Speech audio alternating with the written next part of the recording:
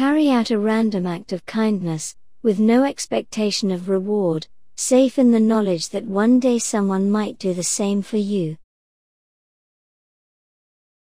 I want my boys to have an understanding of people's emotions, their insecurities, people's distress, and their hopes and dreams.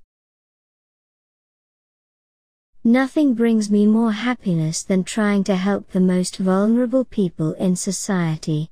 It is a goal and an essential part of my life, a kind of destiny. Whoever is in distress can call on me. I will come running wherever they are. I don't go by the rule book. I lead from the heart, not the head. The greatest problem in the world today is intolerance. Everyone is so intolerant of each other. So many people supported me through my public life and I will never forget them. Family is the most important thing in the world. When you are happy you can forgive a great deal. I like to be a free spirit. Some don't like that, but that's the way I am. They say it is better to be poor and happy than rich and miserable, but how about a compromise like moderately rich and just moody? Anywhere I see suffering, that is where I want to be, doing what I can.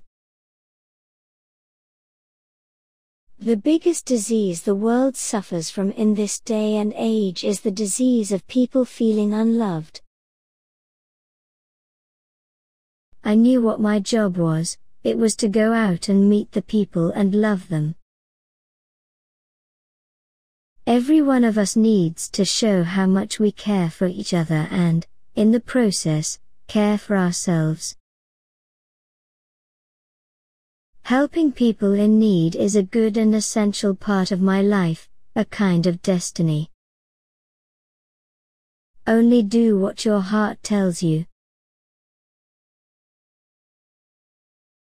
I'd like to be a queen in people's hearts but I don't see myself being queen of this country. I want to walk into a room, be it a hospital for the dying or a hospital for the sick children, and feel that I am needed. I want to do, not just to be. I went to the school and put it to William, particularly, that if you find someone you love in life, you must hang on to it, and look after it, and if you were lucky enough to find someone who loved you, then you must protect it. HIV does not make people dangerous to know, so you can shake their hands and give them a hug, heaven knows they need it. Being a princess isn't all that it's cracked up to be. Everyone needs to be valued. Everyone has the potential to give something back. If men had to have babies, they would only ever have one each. I don't want expensive gifts, I don't want to be bought. I have everything I want. I just want someone to be there for me, to make me feel safe and secure.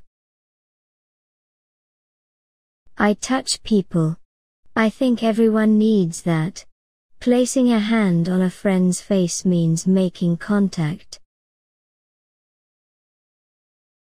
I think like any marriage, especially when you've had divorced parents like myself, you want to try even harder to make it work.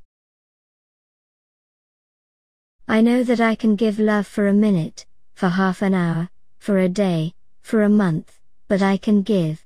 I am very happy to do that, I want to do that. You can't comfort the afflicted with afflicting the comfortable.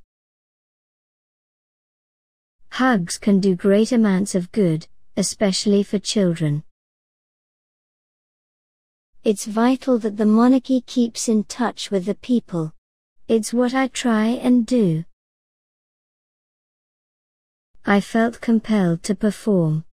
Well, when I say perform, I was compelled to go out and do my engagements and not let people down and support them and love them. It took a long time to understand why people were so interested in me.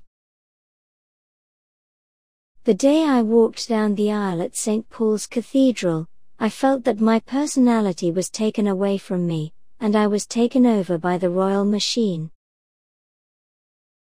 I will fight for my children on any level so they can reach their potential. I live for my sons. I would be lost without them.